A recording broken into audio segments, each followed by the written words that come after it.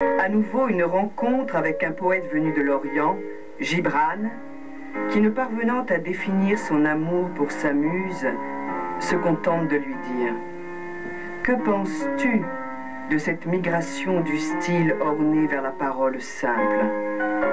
Tu vis en moi, je vis en toi, tu le sais et je le sais.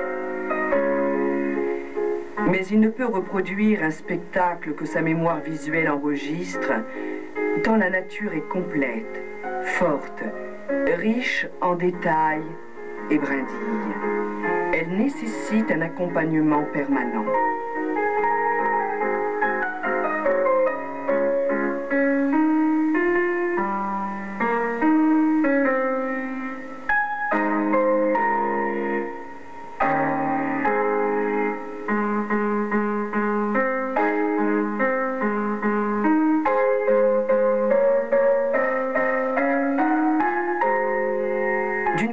Sombre à une couleur claire, des dizaines de gammes occupent une phase de transformation minutieuse, de celle-là en celle-ci, à quoi correspond un gigantesque chantier où les personnalités lumineuses ne sauraient être saisies que par l'extrême sensibilité de l'artiste.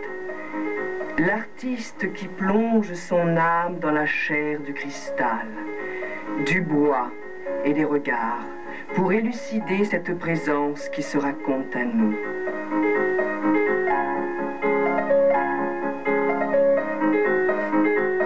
Il donne à l'objet une authenticité qui manque à la donne originelle.